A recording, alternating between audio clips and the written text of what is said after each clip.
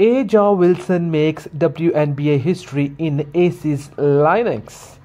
On Wednesday, A'ja Wilson and the Las Vegas Aces defeated the Minnesota Lynx by a final score of 80-66. The Aces jumped to 4-1 on the season and surpassed the Lynx for the first place in the WNBA Western Conference.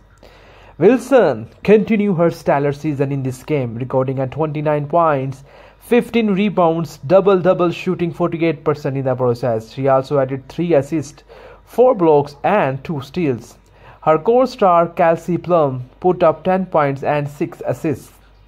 In this match, Wilson achieved an impressive feat by scoring 20 or more points and grabbing 10 or more rebounds for the fifth consecutive game. This sets a new record for the longest streak of its kind in the history of WNBA.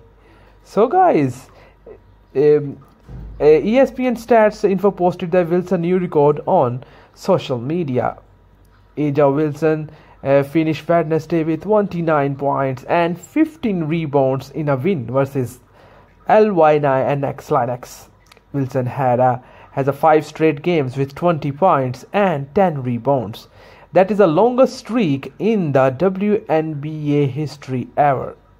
The Aces now will look for their fifth win on Friday, May 31, as they take on the Atlanta Dream. So, guys, on the next game, what you will think? The Aces will be able to win or not, or the Atlanta team is the competitive enough to defend their uh, sequence of winning if they are winning so guys this is all in this video of short uh, video of um, A'ja Wilson making history in WNBA one of its own kind of longest streak. Kindly let uh, us know in the comment section your opinion as we reply to each and every comment that posted on this video. Thank you so much